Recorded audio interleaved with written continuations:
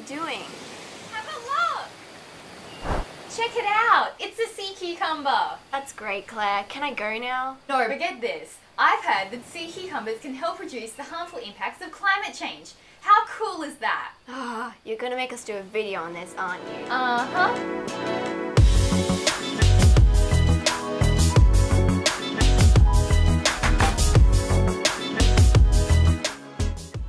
These little guys are called sea cucumbers. Also known as Bêche de mer or Holothuroidea. Of the 1,500 species of sea cucumbers that live worldwide, 200 of these can be found within the waters of Australia. In places like our very own Great Barrier Reef. Something pretty astonishing about sea cucumbers is that if they feel threatened, they will expel their internal organs from their body. What a gutsy effort! Remember, when you visit the reef, look but don't touch. Sea cucumbers scavenge for organic matter and waste particles, using their protruding, tentacle-like feet that extend from their mouth. They also manage to ingest quite a bit of sand along the way.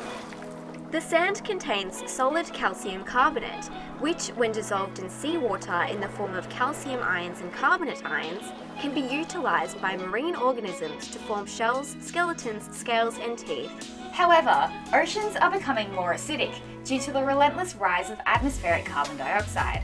As a result, there is less dissolved calcium carbonate available to marine life. You're probably wondering, where do sea cucumbers fit into all of this? Through the process of their digestion, the calcium carbonate in the sand is dissolved and the alkalinity of the immediate marine environment increases. Sea cucumbers help to rebuild reefs, increase nutrient recycling, and improve the health of the ocean's water and sand.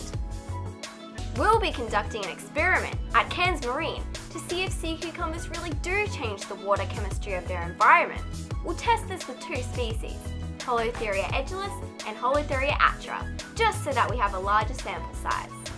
Awesome! Let's get these samples sent off to the lab. After five days, the calcium carbonate in both tanks with eight sea cucumbers increased from 120 milligrams per litre to 130 milligrams per litre, while the tank with no sea cucumbers remained constant. Who would have thought that sea cucumbers could help save coral reefs? Though unfortunately, some of the little species are actually becoming endangered. Yeah, aren't they considered a delicacy in some cultures? As cool as they are, I wouldn't want to have one for dinner. Yeah, they're as cool as a cucumber.